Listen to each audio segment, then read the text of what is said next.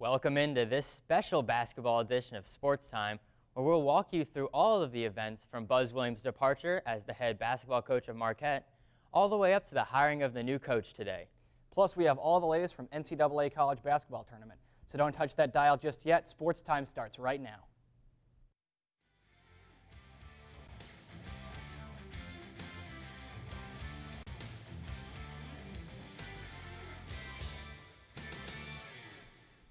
Welcome to Sports Time. I'm Grant Becker with your second and hopefully not last episode for this semester.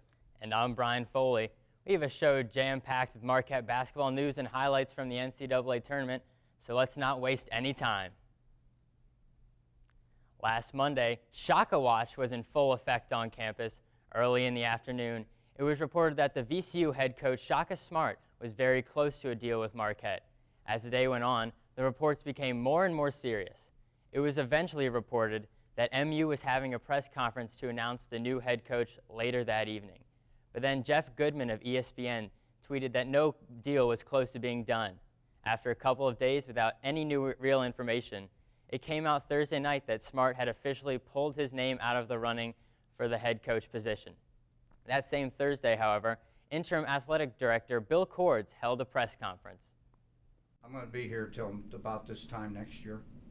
So uh, I, they thought that that would be a good thing to do, given that a new president comes on board and, and he's you know looking for a provost and there's a lot of things that he's going to need to do, and so we thought it would be good for him not to have to have a concern about that for about a year. But I'll tell you, well, we're not a stepping stone, and um, I, th I, think there was one time where you might say that, but I don't think we are now. Um, I you always look for coaches to stay. That being said, uh, we're going to find the best possible coach we can. We feel that we have everything in place in terms of support and facilities to make sure that that, that person has a, a chance to do what we all want to do, and that's get back to the Final Four and win a national championship. That's our vision.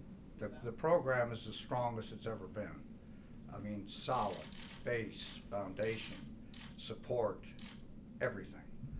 And so, therefore, our pool is good. It is stronger and better than, than by far than we've had. Uh, uh, we're, we're going to have an opportunity to find the, the, best possible coach we can find. We think we have a really good program, and it's very attractive, and so we're going to go at the pace that we feel is the best for us to get the best person. Oh, I, we've had a high, we've had a pretty high level of interest. I, uh, I'm very, very happy with that. We all have. You know, we, you have to be careful in this process. You have to be sensitive to the people involved in the process. Um, and uh, timing is important, but uh, you you really have to do your you you have to do your due diligence and make sure that there's this is absolutely the best person. One of the things that we really wanted to make sure of is that our players had the same routine every day, and uh, Coach Wainwright's doing that. Uh, he's a uh, Coach Wainwright is a he's a wonderful man, and he's he's doing a great kids really like him, and he's he's making sure that he's a, a, a, source for them, and he's also making sure they get the work in that they need, and uh, as well as our strength and conditioning coach Todd Smith. Tennessee head coach Cuonzo Martin interviewed with Marquette on Sunday afternoon and was believed to be the top candidate for the job until he removed his name from the running late last night. Martin was originally named as a mystery candidate while his team was still playing in the NCAA tournament. He led the Tennessee Volunteers to a Sweet 16 this season after finishing his, season, his last two seasons in the NIT. However, Martin did not pick up a win against the top 25 team this season. Today, Marquette named Steve Wojciechowski as the new men's basketball head coach. Wojciechowski emerged as a potential candidate on Sunday and interviewed with Marquette officials just yesterday. Wojciechowski has been an assistant head coach at Duke since 2008 and won two Olympic gold medals as an assistant to coach Mike Krzyzewski. Wojciechowski is considered to be an important cog in the Duke recruiting system. Let's take a look at what the players think about the signing. I've been waiting to see who we were going to get, and now he's finally here, so I'm excited. I haven't smiled in a long time.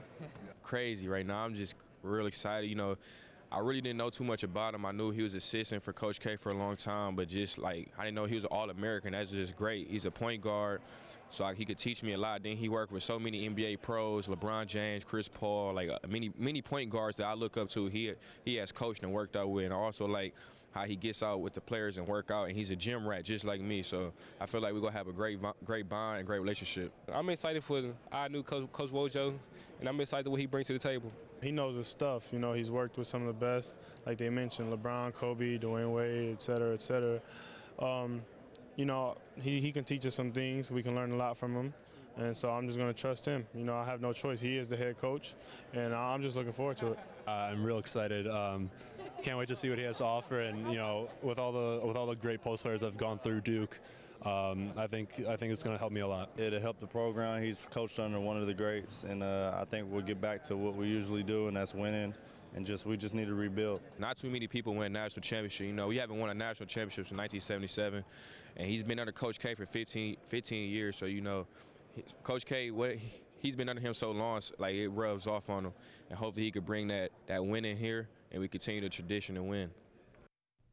Brian, what do you think about the signing of Coach Wojciechowski? I think it's a great hire. He, he's played at Duke for five years, from '94 to '98, and coached at Duke for the next 15 years. So he's been under uh, Coach K, who runs a great program for the last 20 years. Also, he's been known as a real defensive guy. He won uh, when he was at Duke in 1998. He won National Player Defensive Player of the Year. And so that fits Marquette's system as a hard-nosed team, and he brings that tough mentality that they're looking for. Mm-hmm. My one concern, though, is that while he has a great reputation as a recruiter, uh, he, I kind of think that Duke and Coach K kind of recruit themselves a little bit, and so I'm not sure when he's going up against, like in-state, up against a great program like Wisconsin, if he'll be able to have that same su- success. But I'm looking forward to what he brings to the table. And I think he's a good hire. How about you? I agree, Brian. You know, uh, I think you bring a, a, good point in that he's been at Duke for the last 20 years, and he's been a part of that winning culture. He's won two national titles, and he's also won two gold medals for the U.S. national team uh, at the Olympics. And so he, he brings in this culture of winning, and he has great pedigree, so that's a nice start.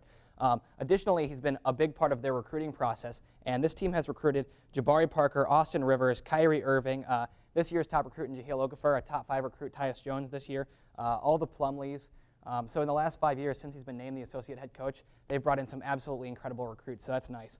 Um, my biggest concern is just that he's never been a head coach at any level. So um, since he like left Duke uh, from playing, he played one year overseas, and he came back and coached. And he has been an assistant coach ever since then. So uh, it'll be really interesting to see him transition into being a head coach because we genuinely have no idea what his success level will be. Uh, but I expect great things out of this hiring. So when we come back, we are sticking with college basketball but we are switching over to the NCAA tournament. Stay tuned. Welcome back to Sports Time. I'm Brian Foley. Moving forward with college basketball, let's take a broader look at the picture. That's right, Brian. We're talking about the NCAA tournament, which was dwindled down to just four, the final four this past weekend. Now let's discuss how we got here. Let's start with the Cinderella team, the Dayton Flyers, an 11 seed in the South region. They started off their miracle run with a win over Ohio State in the first game of the tournament then proceeded to uh, beat Syracuse and Stanford. So they're looking forward to a matchup in, against Florida in the Elite Eight. They're led by Jordan Sibert, so they've, they've had an exciting run the tournament. Mm-hmm.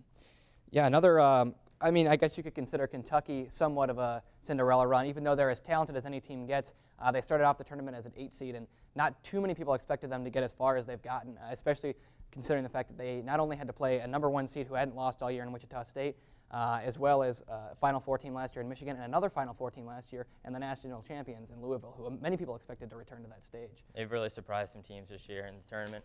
Uh, in the East region, I'm looking at the UConn Huskies, the seven seed. Shabazz is going hero ball for them right now. He's, he's doing it all for them. Uh, they, they had a thriller in overtime against St. Joe's, won 89 to 81, then proceeded to beat the two seed from the Big East, Villanova, and then Iowa State as a three seed in the Sweet 16. So they had a they have a great matchup with Michigan State in the Elite Eight. You know, Wisconsin's made a nice run too. They've looked very strong in all their matchups with Frank Kaminsky leading them all the way to the Final Four. So it should be fun to watch them. So now let's take a look at these teams that are left. Who do you think is going to make it to the final uh, to the national championship game and then win it from there? Uh, right now, I'm looking at the Florida the Florida UConn game. Uh, I'm, I'm, picking Florida right now. Wilbekin, he's been playing great offense and defense.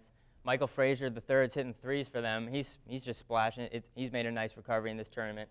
And Patric Young just corralling every board right now. The problem with UConn is uh, that it's kind of Shabazz and that's it. Mm-hmm. So I think Florida will be able to shut shut him down. Yeah, I've got uh, Shabazz Napier doing Kemba Walker all over again as he has been this whole tournament. So I'm looking for UConn to win that game and continue this miracle run that they've made. They are the last team that beat Florida all the way back in, um, before conference play had even started. Uh, what do you have on the other side? Uh, in the Wisconsin Kentucky Kentucky game, I have uh, Wisconsin. They're, they're too experienced. Frank Kaminsky is balling right now. I, I, I, think the Harrison twins, while they're playing great now, I, I remember the whole regular season where they kind of stunk up the joint. So I, I, I think the, the Bo Ryan experience will be able to, and their defense will be able to lock down those guards. I think it really hurts Kentucky that Willie Cauley-Stein is out, and with the way Frank Kaminsky's been playing, it's going to be hard to stop him without their big guy inside. But uh, with Julius Randle, the way the Harrison twins have been playing, and all the talent that lies in these freshmen, eh, the fact that they've put their season together and they're doing what they can do, now we see why they were the number one team at the beginning of the season, and they're playing like it now. So I've got them making it into the championship game, and if they play the way they've been playing, I think it's really, really hard to stop them. So, who do you have in the final? Uh, in my finals, I have Florida over Wisconsin. Their defense too good. I think Billy Donovan's uh, national championship experience is too much. Bo Ryan's this is first Final Four, so I'm not sure uh, if he'll be able to go up against uh, Billy Donovan. All right, I see you, Brian. Uh, well, that's all we have for you tonight. For my co-host Brian Foley, I'm Grant Becker. Thanks for watching Sports Time, and we truly do appreciate your continued support through these understaffed times. Have a wonderful and safe night, Marquette.